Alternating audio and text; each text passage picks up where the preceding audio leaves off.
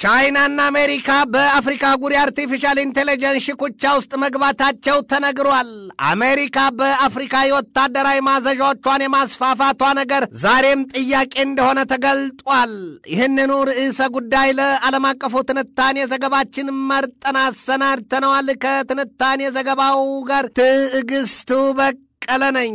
በሞኝ ክምር ሌባ ተማታበትን አሊያም እያለው ያጣ የሆነው የአፍሪካ ምድር አቅርቦ መብላት እየተሰወረው የበሰለውን ለበላተኛ ሲሰጥ ይታያል። የአፍሪካ ስልጡኖች የቱንም ያህል ቢማሩና ቢመራመሩ በአህጉሩ ያለውን ሀብት አውቀውና አስጠብቀው ለቀጣይ ዘመንና ትውልድ ማቆየት ሞታቸው ወይም ደግሞ ለራሳቸውም ዘመን ለሀገርና ሕዝብ ጥቅም አያስቡትም። ከዚያ ይልቅ የሀብት መመዝበሪያው ዋናው ቁልፉ ስልጣን ነው የሚል የጸናና ስር የሰደደ አቋማቸው ልቆ ይታያል። ይህንኑ የአፍሪካኑን መዘናጋትና ዘላለም ከሰመመን ያለመውጣት የተመለከቱትና በአይነ ቁራኛ የሚጠባበቁት አሜሪካና ቻይና ዛሬ ላይ በዚሁ ስንፍና፣ ስደትና እርስ በርስ ጦርነት የመገለጫው ያህል ሆኖ በሚጠቀስለት የአፍሪካ አህጉር በ artificial intelligence አሊያም በሰው ሰራሽ የስለላ መንገድ የጥበባቸውንና የወታደራዊ በላይነታቸው መተናነቂያና አንዱን አንዱ የመጣያ አሊያም የመውደቂያ ስፍራ ሆኗል በሚል ሐሜቱና ሮሮው ገዝፎ እየተነገረበት ነው። ወዲህም ሁለቱ ሀገራት በዚሁ የአፍሪካ አህጉር ሙሉ የንግድ ቢሉ የወዳጅነት ቋጠሯቸውን ለማጥበቅ ከአህጉሩ ሀገራት ብዙዎቹን በየራሳቸው ጎራ ለማሰለፍ እንቅልፍ ማጣታቸውም ይታያል። ቻይና በ Belt and Road Initiative በመንገድና በባቡር ሀዲድ ዝርጋታ እግሯ ያልገባበት ወዲህም የብድር ገንዘብ ያልሰጠቻቸውን የአፍሪካ መንግስታት አንድ ሁለት ብሎ መቁጠር ይቸግራል።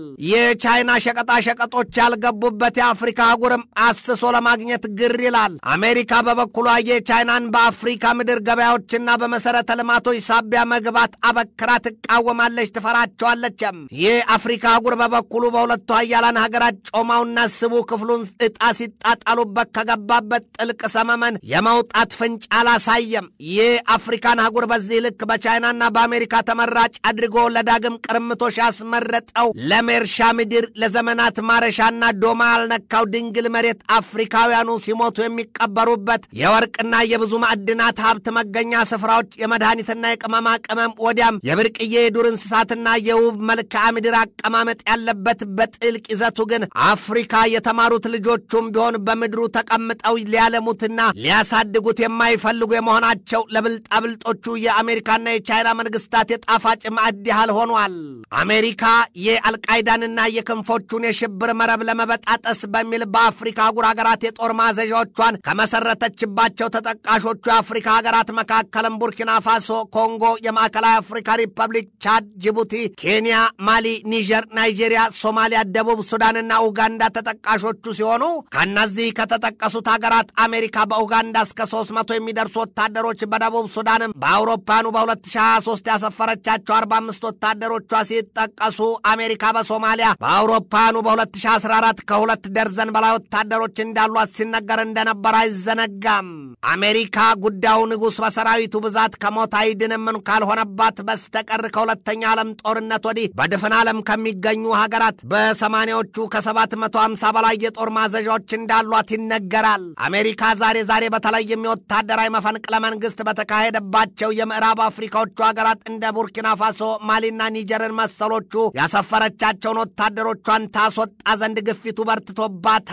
እንዳብነት እንኳን ሰሞኑን በኒጀር ያሉት የአሜሪካ ወታደሮች ከዚያ ሙሉ በሙሉ እግራቸው ተነቅሎ ሳይወጣ በሩሲያ ወታደሮች መተካቱ በአሜሪካ ዘንድ ሩሲያ ካለች ቻይና መኖሯ ግልጥ ነው የሚለውን እሳቤ ገሃድ ያወጣ ሆኗል።